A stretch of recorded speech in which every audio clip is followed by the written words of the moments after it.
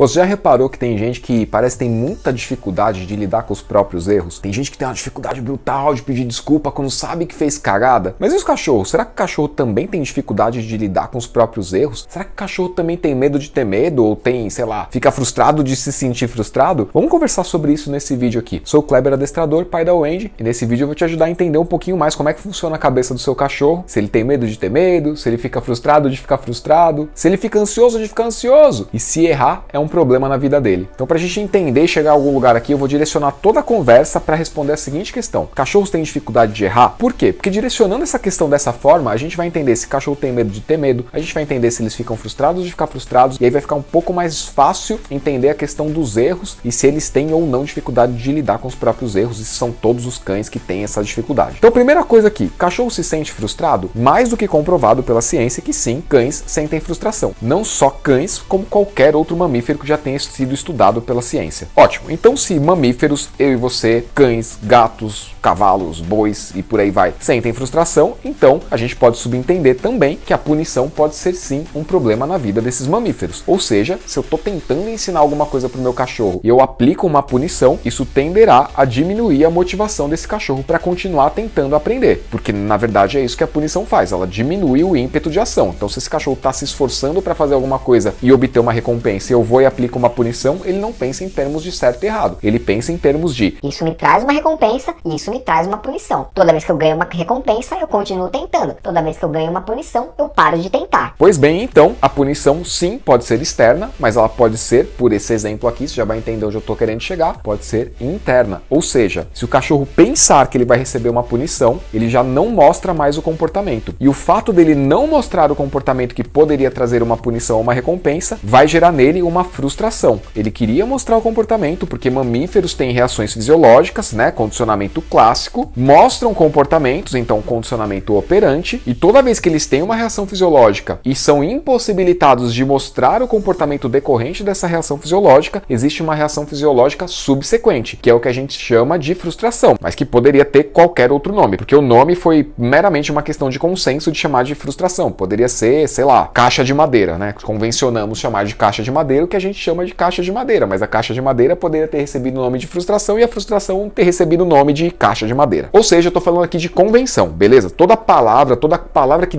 que explica alguma coisa é uma convenção. Convencionou-se dar esse nome para o negócio. Pois bem, então vamos adiante aqui, que senão a gente não chega em lugar nenhum. Todo indivíduo, então, cujo cérebro percebe a iminência de uma punição, vai produzir então um outro tipo de reação fisiológica. Essa reação fisiológica recebe o nome de aversão, e a aversão tem por função produzir o comportamento de evitação, ou seja, o indivíduo tinha um ímpeto de ação, percebeu que seria punido, esse ímpeto de ação foi interrompido, deu origem a uma nova reação fisiológica chamada de aversão. A aversão inibiu o comportamento que ele ia mostrar, mostrando então um comportamento de evitação para se afastar da possibilidade de punição. Eu te expliquei que cães têm sim dificuldade de lidar com os próprios erros. Eles sentem frustração e eles mostram comportamentos adaptativos para não ter que lidar com a frustração. A frustração por si só é uma punição? Não necessariamente. Frustração é frustração. A frustração, inclusive, pode ser grande fonte de aprendizado positivo e saudável na vida do seu cachorro, mas isso eu falo nesse vídeo que está aqui nos cards. Agora, como é que a gente ensina então, uma vez diagnosticado que o cachorro tem muita dificuldade de lidar com os próprios erros, que ele não mostra comportamentos, mesmo comportamentos que estão sendo encorajados, com medo de ser punido, com medo de que a consequência desse comportamento seja o acréscimo de uma punição? Como é que a gente ajuda esse cachorro então a superar esse medo dele de ter que lidar com os próprios erros e, portanto, ter que lidar com a frustração? Bom, a primeira coisa então a gente encorajar o erro. Qualquer erro que esse cachorro mostrar, concorda comigo que é um ímpeto de ação? É uma ação que se move numa nova direção? Eu não estou falando de encorajar o cachorro a morder pessoas, por exemplo. Não, não é disso que eu estou falando. Estou falando de um cachorro que, por exemplo, tem muito medo de se aproximar de pessoas porque no passado ele foi punido quando ele se aproximou de pessoas. Então, concorda comigo que o simples fato de eu deixar ele cheirar o pé dessa pessoa, cheirar a roupa dessa pessoa, já merece ser recompensado se até então ele mostrava muito receio, tanto com um comportamento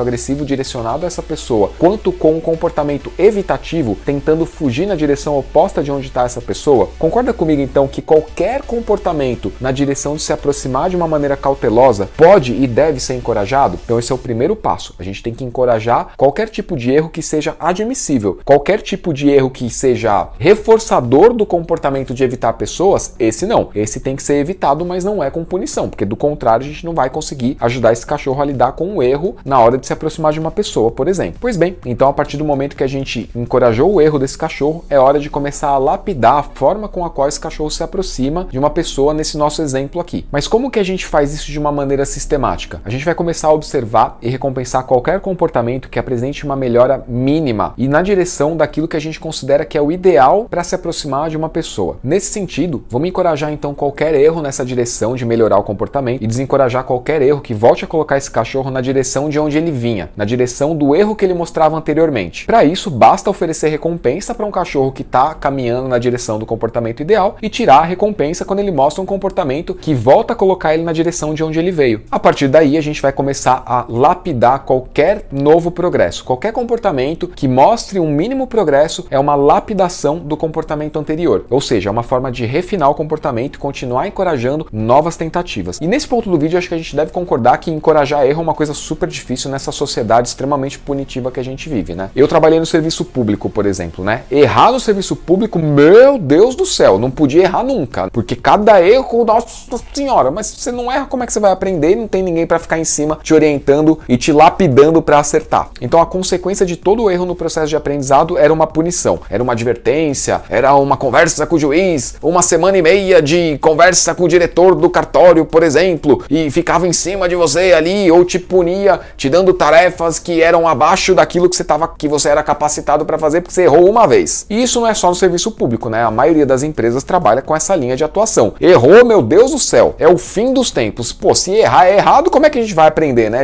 A gente vive numa sociedade que é errado errar. Isso é muito louco. Então, lapidar também consiste em entregar recompensa para cada novo comportamento que surge na direção daquele comportamento ideal. Pois bem, depois que eu lapidei esse comportamento, o que eu vou fazer então é colocar na rotina. Toda vez que esse comportamento acontecer, toda vez que esse comportamento puder ser encorajado, toda oportunidade que eu puder levar esse cachorro sabendo que ele poderá mostrar esse novo comportamento lapidado, eu vou incluir na minha rotina para que esse comportamento ganhe cada vez mais frequência de repetição, para que esse comportamento possa ser cada vez mais recompensado. Agora vamos falar das outras questões que ficaram pendentes aqui. Cães mostram medo de ter medo? Sim. E como que eles mostram isso? O cachorro mostra medo de ter medo, por exemplo, quando ele mostra uma agressividade de forma consistente ao se aproximar de uma pessoa, ou na iminência de ter que se aproximar de uma pessoa. Ele mostra agressividade, por exemplo, quando existe a iminência de um cachorro se aproximar dele. Um cachorro olhou para ele já é a iminência da aproximação. Nisso ele já desempenha ali o comportamento agressivo. O que é o comportamento agressivo? É um cachorro que está mostrando medo de sentir medo. Como é que o cachorro pode mostrar medo de sentir medo, Kleber? Quando, por exemplo, a gente ensina um pouco de autocontrole. Zezinho, fica. Zezinho, olha para mim ao invés de,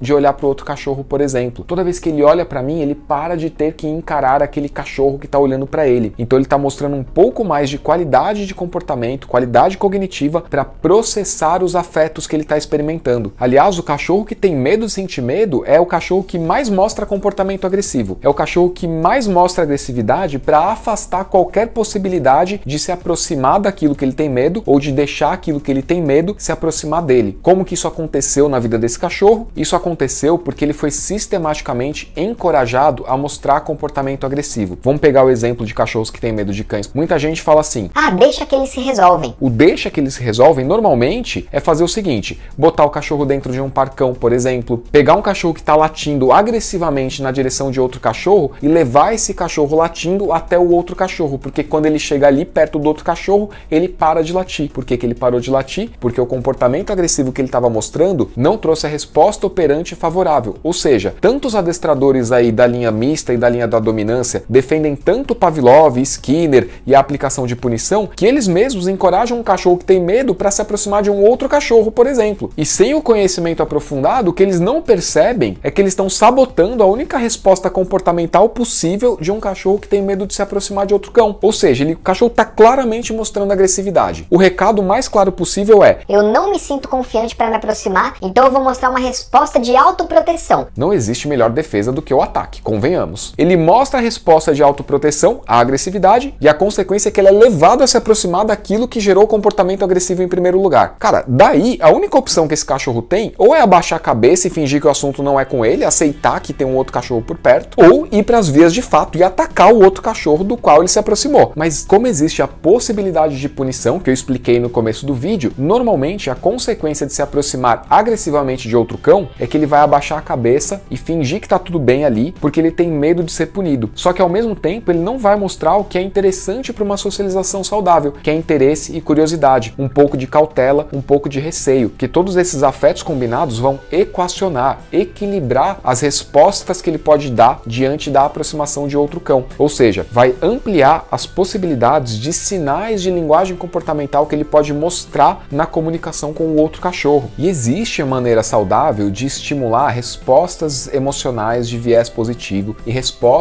emocionais de viés negativo de uma maneira saudável. Não precisa de aplicar punição num cachorro que já está mostrando que tem medo de ter medo. Não precisa de aplicar punição num cachorro que já está mostrando que não quer se aproximar de outro cachorro. O que a gente precisa é estimular, como eu expliquei nas etapas anteriores, curiosidade, interesse, modificação de comportamento, encorajar qualquer comportamento na direção ideal que a gente está visualizando como ideal. E se você quer aprender a fazer tudo isso, vai rolar a maratona o melhor cão do mundo entre os dias 13 e 17 de junho. Vão ser três aulas ao vivo, online e gratuitas, nas quais eu vou explicar mais sobre as emoções dos cães, mais sobre as fases de desenvolvimento emocional e cognitivo. Vou te apresentar alguns mitos da educação de cães que te atrapalham no seu dia a dia. Vou te explicar por que, que condicionamento operante, por que, que condicionamento clássico, que são as ferramentas mais utilizadas na linha de treino misto e punitivo, não são as respostas para tudo que você está buscando no relacionamento com seu cachorro. Vou te explicar as diferenças entre adestramento, educação, cada uma delas oferece um limite. Se você quer superar todos esses limites, você tem que buscar o que se chama de relacionamento. Eu vou te explicar isso na maratona O Melhor Cão do Mundo. Três aulas ao vivo, online, gratuitas, entre 13 e 17 de junho. Para participar, clica no link que está na descrição, preenche lá as informações, se cadastra também para fazer parte do grupo de WhatsApp, que assim você dobra as chances de receber as notificações dos dias e dos horários das aulas. Então é isso aí, espero você no próximo vídeo ou quem sabe na maratona para a gente dar esse passo na direção de construir um relacionamento saudável com o seu cão. Quero te ajudar nisso, só que você precisa fazer a sua parte e acompanhar as aulas. Um abraço e a gente se vê lá.